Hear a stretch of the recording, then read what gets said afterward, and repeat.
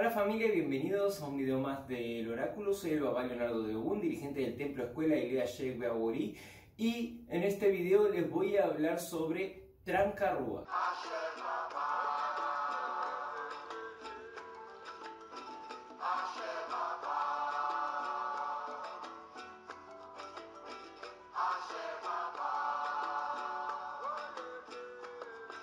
De comenzar con este video, quiero mencionar que este es el Eyu que incorporo yo, es decir, es mi Eyu guardián, es el guardián de mi casa, y que puede que este video mmm, sea un poquito más largo que los demás, porque de este Eyu también conozco un poco más y también me gustaría hablar un poco más de él, porque así se destaca un poco entre los otros videos.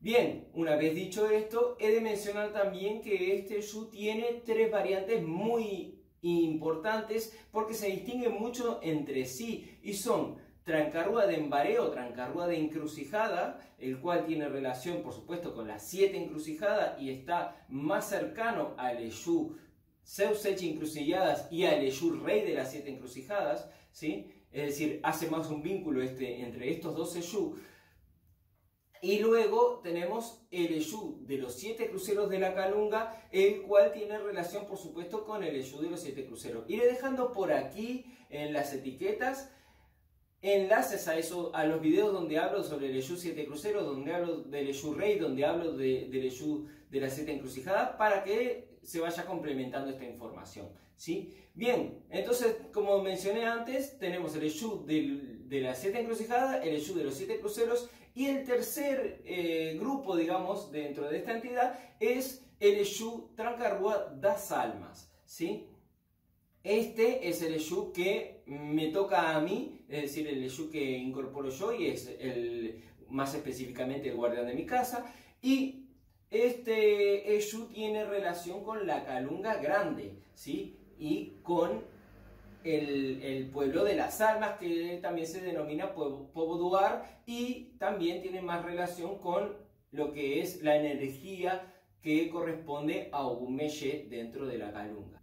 Bien, esto también nos determina los diferentes reinos, por supuesto, entonces ya entramos en lo que tiene que ver con los reinos en los que mora este Yu, es decir, tenemos el mato y la encrucijada, tenemos los cruceros y tenemos el mar, ¿sí? Y las almas y todo lo que tiene que ver con la fiscalización dentro de lo que, lo que es la parte, como decía, de Ogumeye. Entonces, tiene que ver también con los ministros que denominamos también la jerarquía inferior. ¿sí? Tiene que ver también con toda esa relación entre esa, esa parte de la jerarquía, ¿sí? de, la, de la forma de que se distribuyen los, los y la jerarquía superior. Es decir, se relaciona entre la jerarquía inferior y la superior. ¿sí?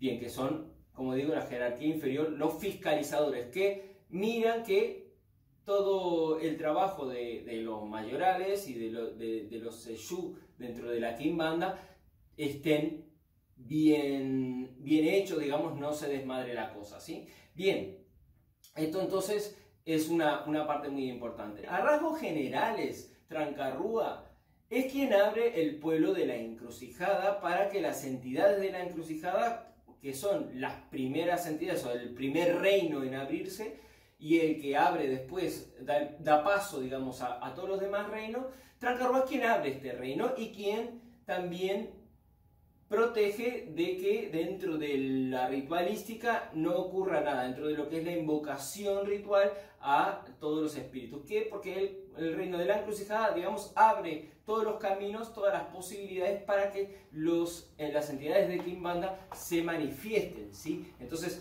ahí vemos que Trancarrúa tiene una importancia preponderante dentro del ritual de Kimbanda o dentro del trance, dentro de la, de la invocación, ¿sí? Entonces, tiene eh, que ver mucho con esta faceta. Podríamos definirlo como un ministro de comunicación, ¿sí?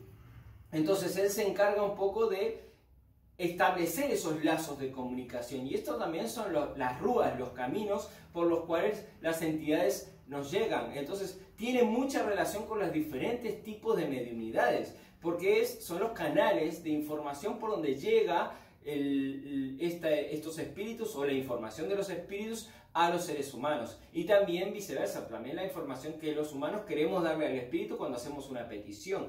¿sí? Entonces, e, esta interrelación tiene mucho que ver con Trancarrúa. También, como dije en el video de Tirirí, mientras que el dominio de la parte emocional le pertenece más a Eshu Tirirí, el dominio de la parte mental le pertenece más a Trancarrúa. Y Trancarrúa es un espíritu que tiene mucha relación con la parte masculina, es decir, con la parte lógica, con la parte intelectual, con la parte más de pensar y analizar las cosas. Se dice que Trancarrúa ha llegado a su posición a causa de su inteligencia, de su capacidad para analizar y para sacar conclusiones es muy dado a utilizar también el método científico de investigación, ¿sí? De intentar siempre ser objetivo, ¿sí? Y quitar un poco la subjetividad, entonces de que se puedan comprobar las cosas de una forma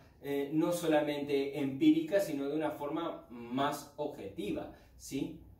Bien, más allá de esto entonces, tenemos que tener en cuenta cuáles son sus compañeras, ¿sí? En relación a, sus compañeras tenemos, por ejemplo, María Padilla, tenemos Pompashira da Salma, tenemos, en mi caso, Sigana, por ejemplo, porque algunos eh, de estos espíritus, tanto Tirirí como Trancarrúa, tienen mucha relación con el pueblo de Oriente, ¿sí? Entonces, las Pompashiras de Oriente también se vinculan mucho con Trancarrúa y se vinculan mucho, como decía antes, con Tirirí. Bien, independientemente de esto y que tiene, bueno, Tirirí su relación con los arenes y todo esto que es muy árabe y cuando son con esta, con esta compañera define también muy bien los espíritus, es decir, un espíritu que tenga como compañera una pompallera cigana, que es como se le suele llamar, o una pompallera de Oriente, será él también de Oriente. En el caso de Él, nos ha comentado que es un príncipe de lo que, lo que es la familia real otomana perteneciente a los turcos y a la parte de Siria. Y en, en el 1900 pues hubo una guerra y él tuvo que salir de ahí. Y entonces él luego se exilió en Inglaterra, ¿sí? que fue posteriormente donde murió y llega a, la Kimbanda a través de un culto que es en la encantería, el culto de las tres princesas turcas, y así se une él a, lo que es Brasil y a lo que es todo el culto de, la Kimbanda y otros cultos afrobrasileños que eh, desarrollan la llegada de espíritus, ¿sí? Entonces, de ahí deriva que él hace ese vínculo, ¿sí?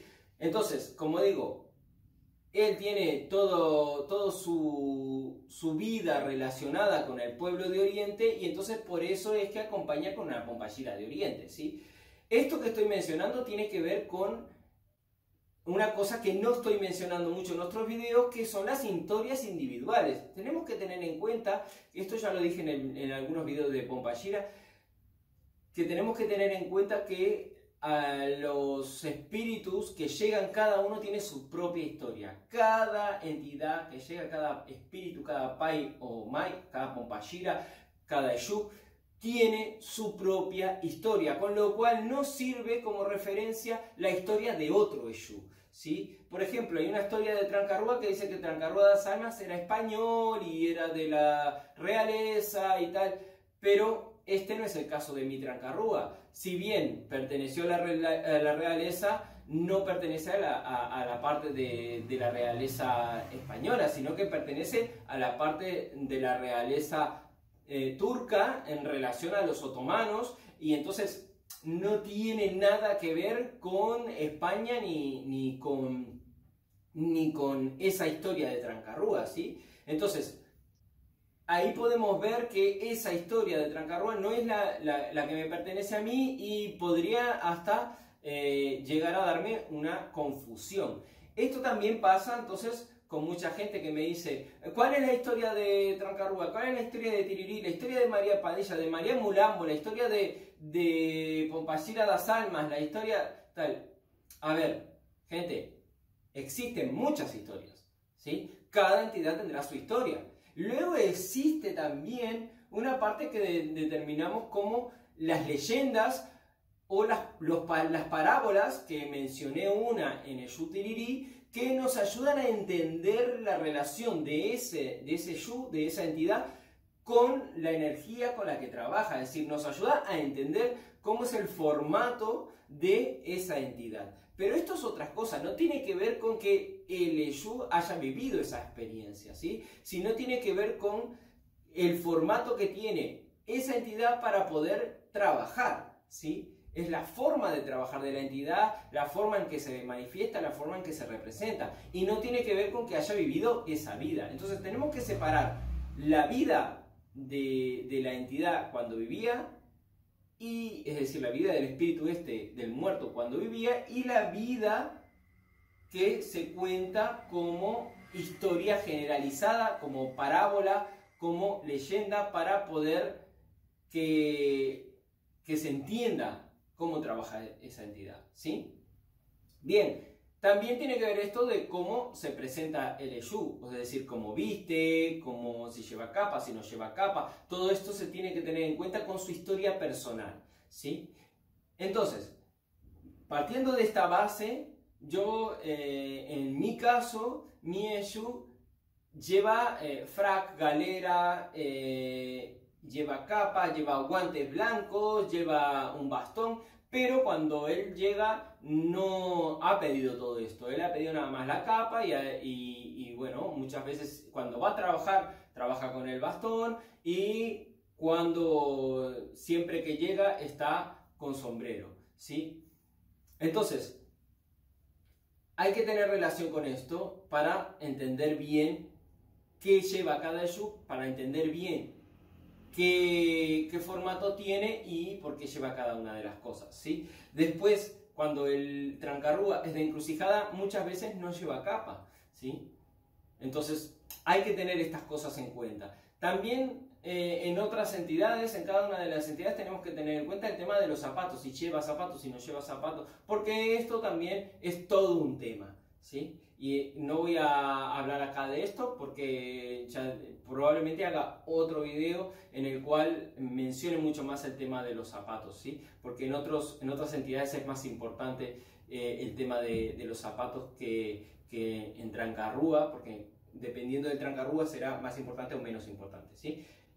Bien, entonces, para ir finalizando un poco este video, mencioné la morada, mencioné con quién acompaña y mencioné un poco cómo se viste, que para terminar esto diré que en el caso del mío tiene evidentemente un aspecto un poco árabe, ¿sí? O gitano, ¿vale? De esa, de esa, de esa raza. Es decir, se parece mucho a mi color de piel, quizás un poco más oscura, ¿sí? Y a mi fisonomía, ¿vale? Pero bueno, los Jesús no tienen por qué parecerse físicamente a las personas en las que llegan. Bien, este video lo dejaré por aquí, espero que les haya gustado, espero que les haya servido. Si es así, denle me gusta. No te olvides de suscribirte al canal si todavía no estás suscrito y de darle a la campanita para recibir las notificaciones de los próximos videos que iré poniendo.